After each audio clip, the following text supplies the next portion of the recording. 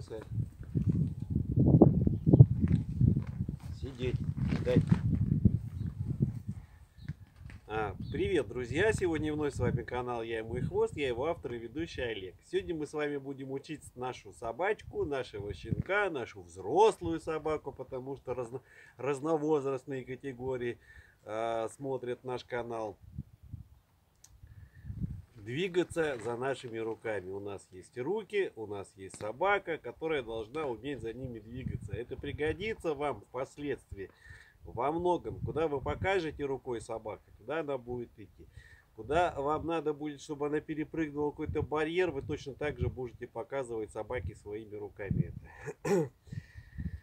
Методом формирования поведения, а не моделирования поведения, мы также будем собаке показывать, чего мы от нее хотим. Сидеть, лежать, стоять, и все это мы будем делать э, нашими руками.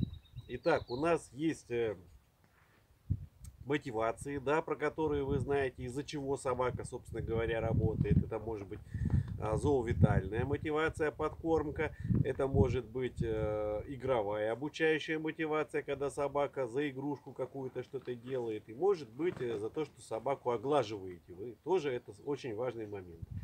Итак, у нас есть собака. Собака у нас мотивирована, жутко мотивирована на подкормку. В качестве лакомства мы используем корм галоси. А, и мы учим ее двигаться. Для этого берем в руку подкормочный материал, да, желательно, чтобы у вас была дрессировочная сумочка, да, допустим. Вот у меня в руке находится подкормка, вот у меня собака. Я собаке показываю подкормку и говорю, пошли. Через 3-4 шага я даю.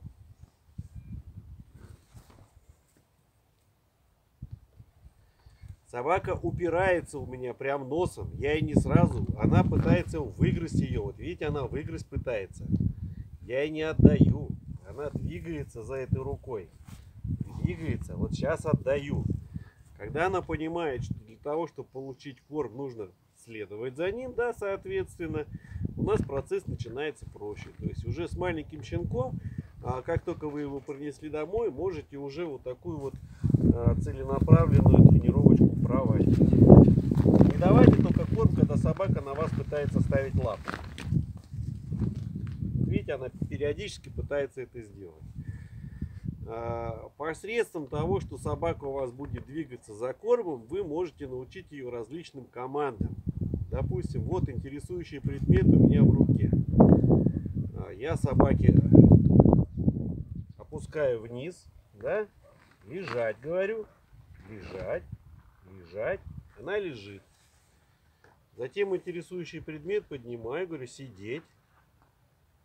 Да, как только собака села, я отдаю. То есть время подачи по положительного подкрепления у нас в момент того, когда собака у нас исполняет вашу команду. Соответственно, как только собака села, вы даете ей а, лакомство. То есть поощряете. Итак, сейчас бы я бы хотел бы сказать пару слов о том корме, которым я кормлю Маруську. Итак, это специализированный корм для щенков Галози Бэби, итальянского производителя. То есть это а, а, очень важный момент, корм специально разработанный для щенков. А, почему щенкам нужен особый а, рацион, особый корм? Щенки постоянно растут, постоянно развиваются. Они нуждаются в повышенном содержании протеинов, в, в повышенном содержании кальция, фосфора, а, для того, чтобы все правильно формировалось и развивалось. А, также очень важный момент, что все эти вещества а, должны поступать в организм в определенном возрасте, в определенное время. Этот производитель предусмотрел все эти особенности. Второго шанса вырастить щенка у вас просто не будет, поэтому обратите на это внимание. А, корм галузи для щенков подходит Маруське идеально. А, свежее куриное мясо в его составе. То есть а, здесь смотрите, это легко усваиваемый протеин, да, то есть кури, куриное мясо.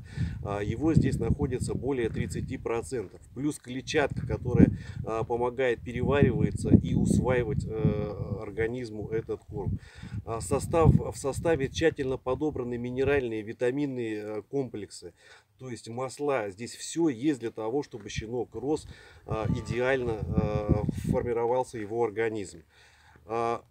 Этот корм производится в Италии, ребята. Этот корм производится в Италии, не в России. Даже не нашими какими-то партнерами производится он, а именно в Италии.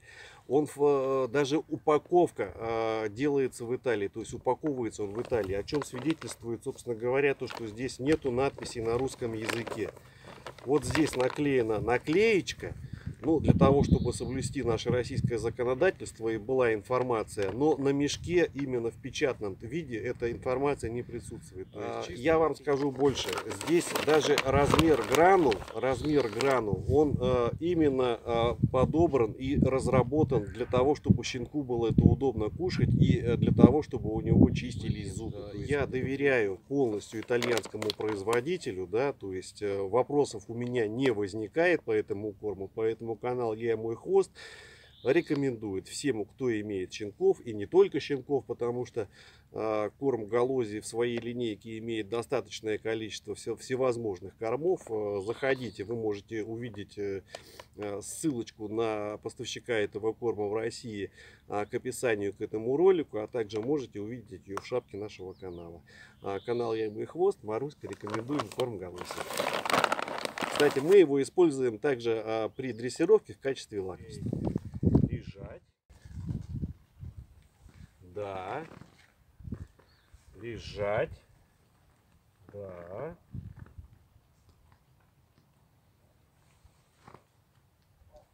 Сидеть. Да. И теперь давайте. Вообще с щенками нужно вот на уровень их становиться и начинать заниматься щенками. То есть сидеть, стоять, да, стоять.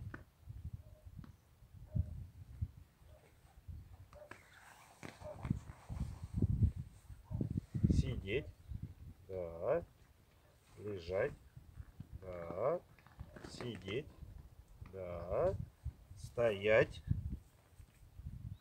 да, сидеть, да. Тумба.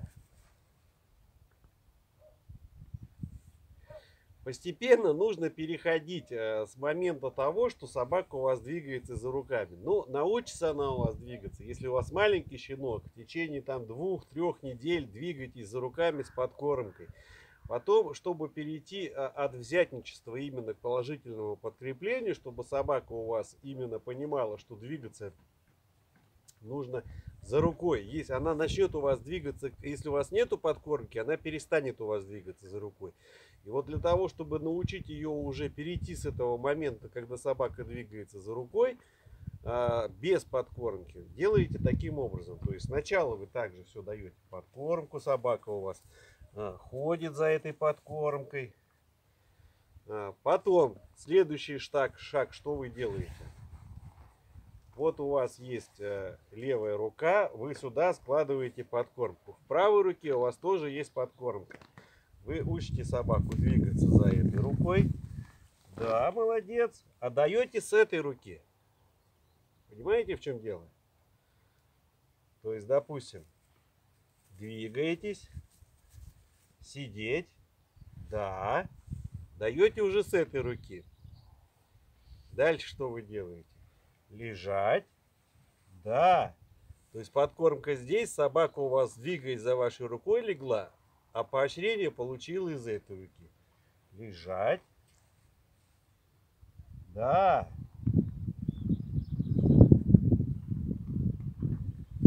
Выпала у меня сейчас подкормка, это очень э, сильная ошибка любого дрессировщика. То есть э, подкормку мы должны, не должны во всяком случае ронять. А если уронили, с пола не должны разрешать собаке поднимать. То есть э, всегда еду и лакомство собака получает с двух мест. Это с тарелки и с ваших рук. Вот смотрите, сейчас я собаке показываю. Отдаю с левой руки. Показал правой рукой, дал с левой руки. Это таким образом мы переходим. Впоследствии вам уже не надо будет в правой руке держать лакомство. Его не надо будет держать. А просто будете рукой показывать. Да, молодец. И давать. Видите, у меня сейчас здесь нету. Да, молодец. Сидеть. Да, молодец. А изначально мы с вами делали, да, то есть первый шаг у нас, первый этап. Лакомство в руке, собака учится за ним двигаться. Даем это лакомство. Опять. Сидеть. Лежать. Второй этап у нас лакомство есть в руке, но выдаем мы с другой руки. То есть двигаемся. Да. Лежать. Да. Лакомство здесь есть. Тумба. Выдаем с другой руки. Да, молодец. Впоследствии вообще убираем лакомство. То есть делается это так. А, еще раз хочу сказать, что в качестве лакомства я использую корм галоси, туба. Сидеть.